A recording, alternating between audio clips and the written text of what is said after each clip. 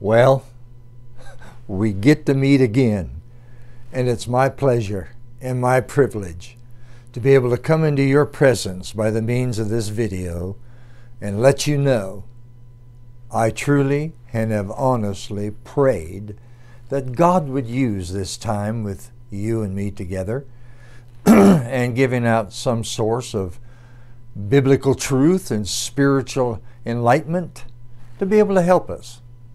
I trust it will. I'm going to be looking at 1 Corinthians 15 here in just a moment, and so if you'll turn to that because it's vital that you see it with your eyes, especially because of the type of a message that I'm going to be preaching right now. And go, to go along with that message as well, I want you to understand this. We can pray, believe, and receive, or we can pray, doubt, and do without.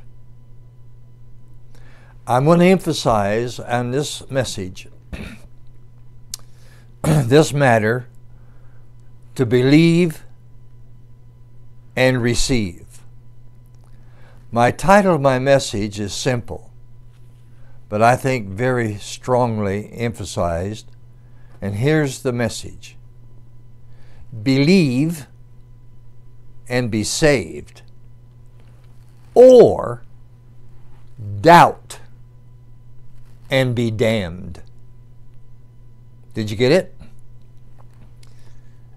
It's so vital and so important because these are words that are acquainted and accustomed in our particular uh, belief as far as the Bible and salvation and, and serving and so forth our God. But believe and be saved.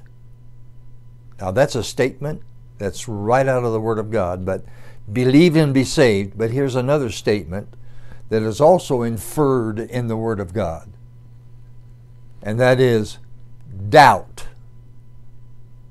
and be damned. Doubt and be damned. Now, what is it to believe? Let me just give you a little bit brief of a definition, and you already know it, but I want you to be reminded of it. Believe, to believe is to accept without doubt something that is true. Now don't miss that statement right there because that is that's vital for your eternity. The definition of believe is to accept without doubt something or someone that is true. In other words, it means to have total confidence and trust in the revealed truth. Again, please let that land on the depths of your heart that to believe is to have total confidence and total trust in the revealed truth. And of course, our revealed truth is the Word of God, the Bible, the Old King James Bible. And here's what it says I'm going to talk to you about believing the gospel. So I want you to listen to me and listen to me very carefully because it could be that your own soul is dependent on what I'm going to tell you today. But definitely those that you would be able to talk to, witness to, even your own family members, your own loved ones, your own mate, husband or wife, or your children or whatever. Believing is the secret of being saved, but you must believe in the revealed truth. And the revealed truth is the Bible, and the revealed truth that we need to believe is the gospel. Now, let me just read something to you. And this is all, this is nothing new, but it's something that needs to be emphasized over and over and over again. Hold on now. Here's 1 Corinthians 15, verse number 1. Moreover, brethren, I declare unto you the gospel. So we're going to find out what the gospel is. He's going to declare it to us. I declare unto you the gospel which I preached unto you, which also you have received. Remember what the definition is to accept without doubt, receive without doubt, which you have received, and wherein you stand. In other words, you stand on what I've preached about what the gospel is because you've accepted it and you trust it and you are believing it. And if you believe it, as I said, you're saved. But if you doubt, you're damned. Then the Apostle Paul goes on and says this about the gospel by which also ye are saved if if you mean that's conditional yeah you're saved if you keep in memory what i have preached unto you unless you have believed in vain in other words if you have believed but have doubts oh my god this is important lord help us to get this truth embedded in the depths of our heart because a lot of people who are making professions of being saved are not saved. But salvation is very easy. But you have to believe to be saved. Otherwise, if you doubt, you're damned. Now hold on, listen to this. He goes on to say, For I which I delivered unto you first of all that which I also received. In other words, Paul said, I believed, and I, I'm giving to you what I was received and I believed. And he says, here's number one how that Christ died for our sins according to the Scriptures. You have to believe the Bible is the Word of God, the Scriptures are the Word of God, and the, and the, and the Scriptures tell us that Christ died for our sins. Now, ladies and gentlemen, listen to me. Hold on now. Do you believe that? Do you really believe that Christ came from heaven, born of a virgin, grew up to be 33 years old, died on the cross, and took the wrath of God and the punishment and shed his pure blood so that we could be saved? Look what Paul said. Listen to what he said here. First of all, that which I also received, how that Christ died for our sins. Do you believe that? You believe Christ died for our sins? Now, it's according to the scriptures. Now, here's the second thing of the gospel. And that he was buried. In other words, they wrapped him in the Jewish custom of burial by putting the spices on his body, wrapped him in the linen, put him in that tomb of Joseph, and they buried him. They put him in, they rolled a big stone in front of where they took him in at, and then they came out, rolled the stone in front of the tomb. They buried him. He's dead. He died for our sins, so he's buried. And Paul says that he was buried and that he rose again the third day according to the scriptures. now, do you believe that? Do you believe a man that can be dead for three days, not draw one breath, not see one sight, not smell one odor, not be able to hear one sound, not be able to speak one word, not have one drop of blood flowing through his veins, that he is dead? Totally, completely lifeless. Dead.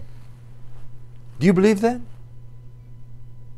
That's the second part of the gospel that he was number one, crucified and died for our sins. Number two, after that, he was buried in the tomb, dead for three days. And then it says in that same verse, thank God for this truth, that he rose again the third day. Listen, and that he was buried and that he rose again the third day according to the scriptures. So here's what the gospel is Christ died for our sins. Number one. Do you believe that? He was buried dead. For three days he was in that grave dead. Do you believe that? And thirdly, after the third day at God's timing, God raised him from the dead. Life came back into him he came right up out of those grave clothes and stepped out of that tomb and was witnessed, as Paul says in 1 Corinthians 15 here, by many, as up to 500 different people saw him alive after the three days that he was dead. Do you believe that? Well, I'm telling you now, and I want you to hear me out because this is awesome. This is true. It is not hard to be saved, and it is not hard to believe.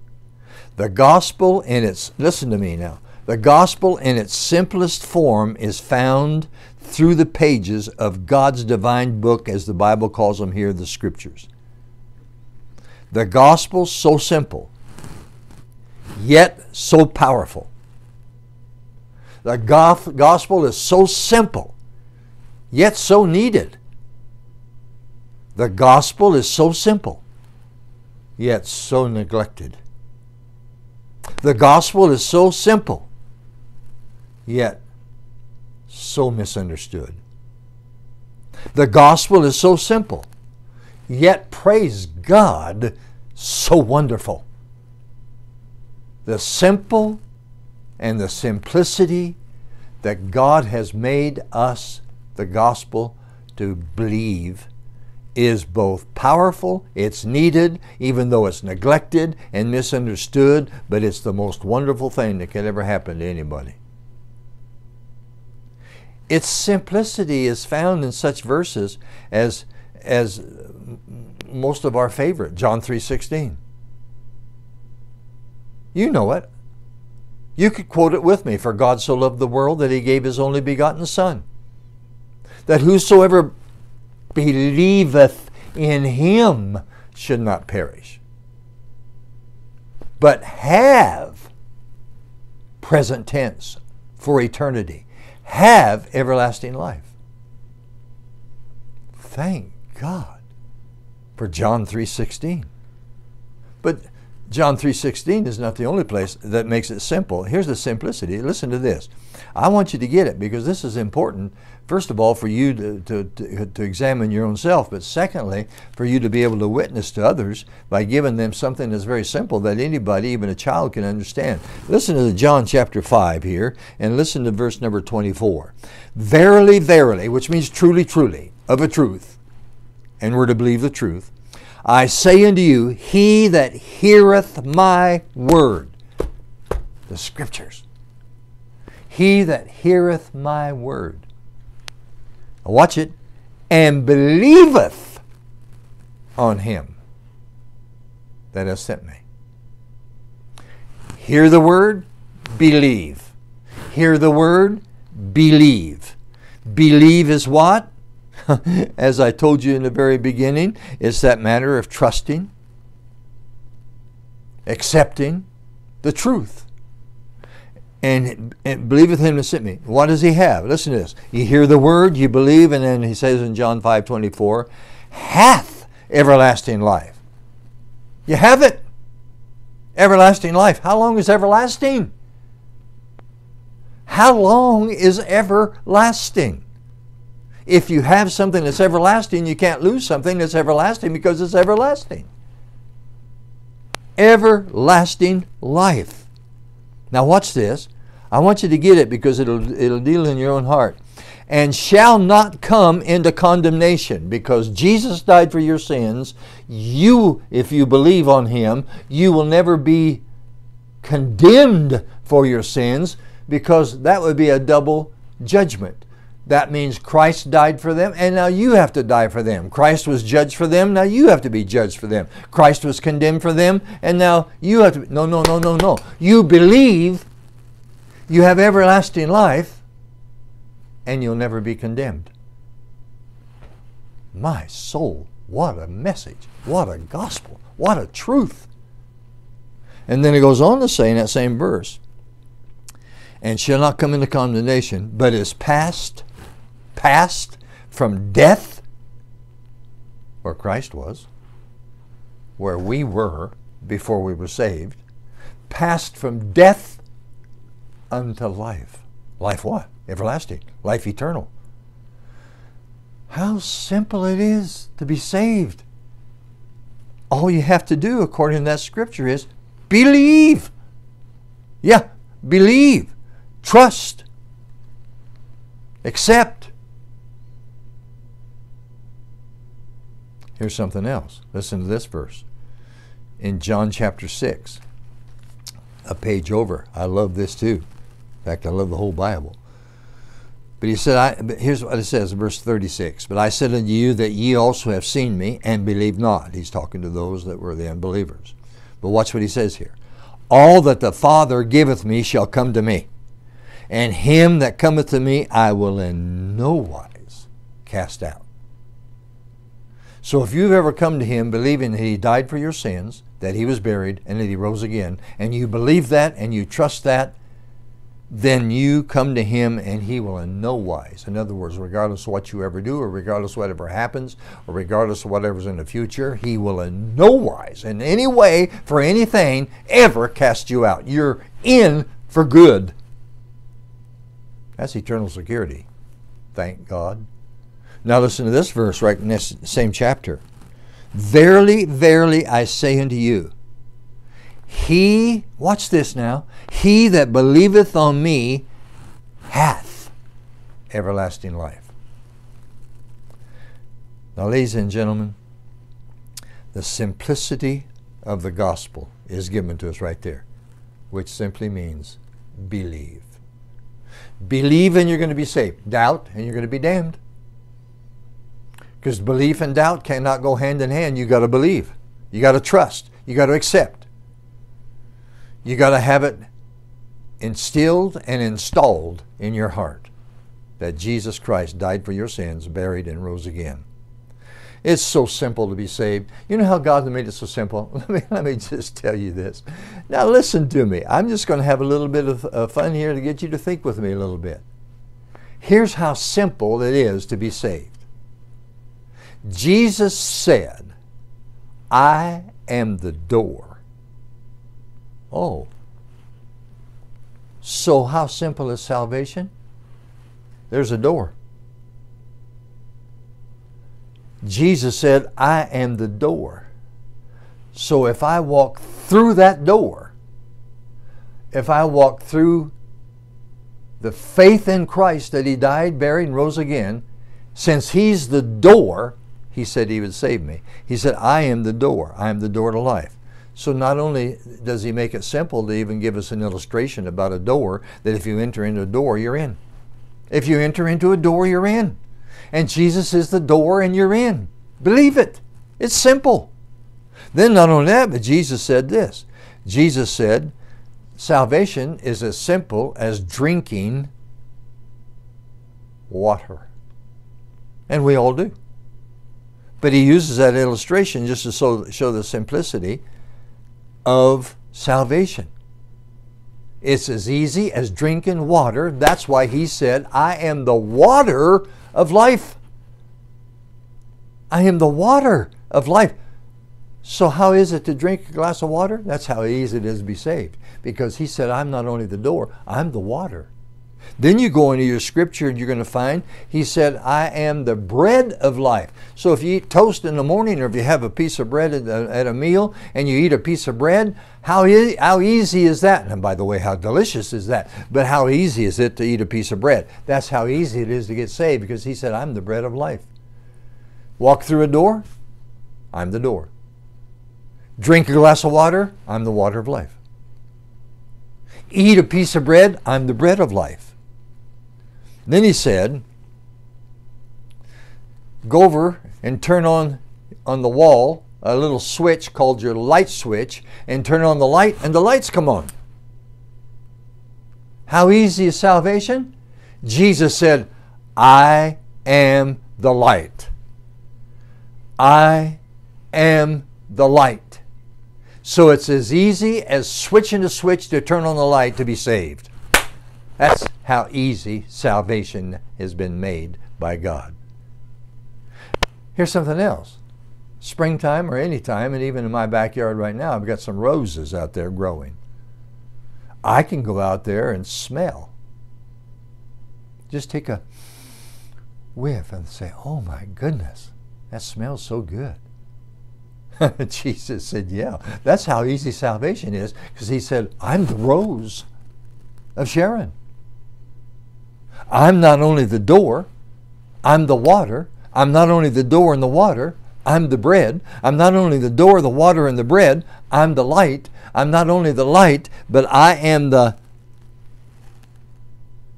Rose of Sharon. I'm the flower.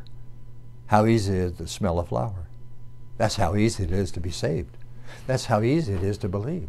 That's how easy salvation is. You want to know something else? Jesus said this I am the Alpha, that's the beginning, and Omega, that's the end. So, how easy is salvation? Salvation is easy as you say in the alphabet A, B, C, D, E, F, G, H, I, and so forth. So salvation is as easy and as simple as walking through a door, drinking a glass of water, eating a piece of bread, turning on the light, smelling a flower, and quoting the alphabet. I'm trying to tell you something right now, and that is the gospel of Christ and salvation has been made simple so that anybody and all could ever be saved. He did not make it hard. Salvation has been made possible for the smallest boy to understand, for the smallest girl to understand, for the oldest person in the universe to understand. God has made salvation simple for anybody to understand. Even those that are mentally retarded, that have some kind of sense that they can think. Salvation is simple. They can understand it. The most intelligent scientist can understand it.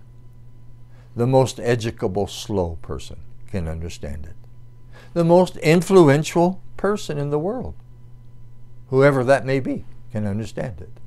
The most down and outer, those that are homeless, those that are in the gutter, those that are down and out, can understand it. Those that are moral or maybe even religious can understand it. Even a disgusting, wicked, vile sinner of our society can understand the gospel. Why? Because they can understand how to walk through a door. They understand how to drink water. They understand. God has made it simple. So simple. How to be saved has been so diluted the gospel plan in the minds of the average American is so complicated, nearly no one, no one understands it. Here's what's happened theologians have complicated it, they have not done us any good. Theologians have added things to their own thoughts and placed them in their commentaries and so forth. They have complicated it. Denominations have rearranged it to their own religious ways.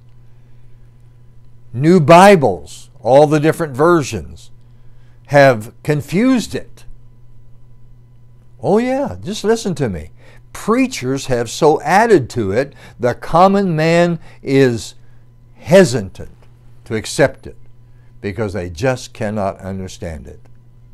I'm simply trying to tell you something. Ladies and gentlemen, it is still the power of God unto salvation to everyone that believeth. To everyone that believeth. The power of God unto salvation to everyone. Everyone that believeth. The greatest need today in our country and in our churches is to return to the simple preaching of the gospel that is a simple gospel that anybody can understand. And God made it that way. We have sidestepped it we're trying to change man and our society by changing their environment. That's not the way to be saved. We try to change not only their environment, but we try to educate them according to what we believe and our education. And we've become so educated, we, uh, we have no need of God or His, uh, or his book. Or, uh, or, in other words, we need to kick out our education, even some of our colleges. I was taught when I went to Bible college what they call Calvinism. And Calvinism is defined by the word tulip.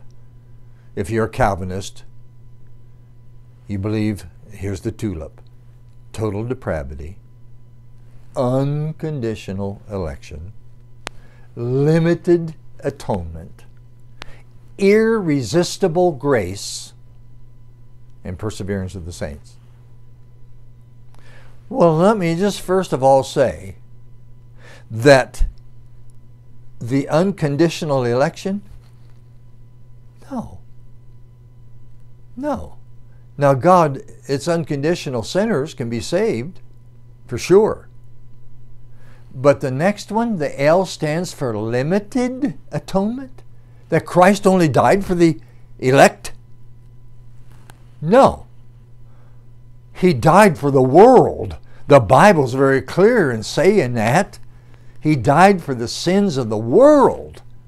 Who's in the world? Everybody that's ever been alive. It's not limited to just a select few. It's, I mean, an irresistible grace. I've preached long enough to know that the Spirit of God has dealt with people with conviction through the preaching of the Word, and they have resisted it and have not been saved. So that matter of Calvinism and their tulip is far from being Bible truth. So I'm simply trying to tell you something. And what I'm trying to tell you is that we have been so educated to believe certain things that if we don't do it this way and that way and so forth, if we, if we do it the Bible way, we're safe. But if we do it what somebody else is trying to educate us to do or not to do, it could be wrong. I mean, we're even trying to change man through our governmental programs, as you know today. Have you noticed we pass laws, even new laws, every day, and yet sin abounds more and more? Have you noticed that? It's true. The whole world lies in wickedness and lawlessness.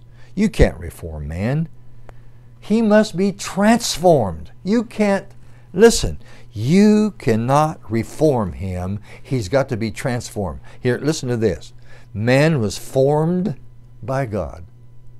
Right? Yeah, true. Man was formed by God. Then man was deformed by the devil. Come on now, listen to me. We were formed by God, but we were then deformed by the devil. But when we believed, we were transformed by Christ. And now, because we have the Bible, we are conformed by His Holy Spirit and informed by the Scriptures. What a great truth. My goodness. I'm telling you, it is awesome what God has done for us. How simple is it to be saved? The simple plan of salvation is the need of this hour. Just believe, trust, accept, don't doubt. If God said it, it's true. If it's in the inspired Bible, it's true. The gospel still can make drunk men sober. It can make crooked men straight. It can make thieves honest. It can make lazy people workers. It can make harlots pure, uh, wholesome women. It can make dirty and clean and useful men. It can make, make hard and, and, and uh, people uh, that are hard, make them soft. I mean, hardened sinners to be softened saints. I've seen it for years. But if you believe, you're saved. But if you doubt, you're damned. Salvation is simple. How simple is it, you ask? Remember the Philippian jailer? The Apostle Paul and they were in the jail singing songs. The earthquake happened as an answer to their prayer and singing their songs. And the jailer came out and was going to kill himself. And Paul said, No, do thyself no harm. And the jailer said, Sirs, what must I do to be saved? Oh, you have to be baptized or you have to join a church or you have to do this religious act. No, that's not what they said. What must I do to be saved? Believe. Believe what? On the Lord Jesus Christ. That He died for our sins, that He was buried, and that He rose again, and thou shalt be saved. And then He added this, and thy house. You can have your whole house saved to believe the same thing. Paul didn't tell the man to quit his drinking. He didn't tell, uh, tell that man to quit uh, sinning first, or stop smoking, or stop his adultery, or stop his lying, or stealing, or cussing, or drinking. I believe those things will stop after a man believes and gets saved. Are you listening to me? I'm talking to some people right now that you you have doubt. You go to bed wondering sometimes, are you really saved? You'll commit some sin and you'll think, man, can a sin, can a, a saved person do that sin? Well, let me just tell you something. If you believe on the Lord Jesus Christ, thou shalt be saved. You will have eternal life. And if you have something that is eternal, how can you lose that which is eternal? In God's name, let common sense speak. You don't need to ever doubt. If you believe the gospel, then you are saved. He is the answer for our souls. He's the answer for our country. He's the answer for our churches. He's the answer for our families. He's the answer for society. He is all in all. Man's greatest need is the need of Christ as their Savior. Listen, He'll change your life. He'll change your eternity. He'll give you something to live for. He will give you joy and happiness that you have longed for. He will rob your heart and mind of worry. Why? Because Jesus is the answer. And you must come to the realization that if you believe, you're saved. But if you doubt the scriptures and doubt the gospel, if you doubt the truth, you're lost. How simple is it to go to heaven? Believe. How simple is it to go to heaven? Simple as going through a door. How simple is it going, going to heaven? Simple as drinking a glass of water. How simple is it to go to heaven? Simple as eating a piece of bread. How simple is it to go to heaven? Simple as turning on a light switch and turning the light on. You know what I'm trying to tell you? Jesus died for your sins. He was buried. He rose again. Believe and you'll be saved. Doubt and you'll be damned. Thank you for tuning in. God bless you.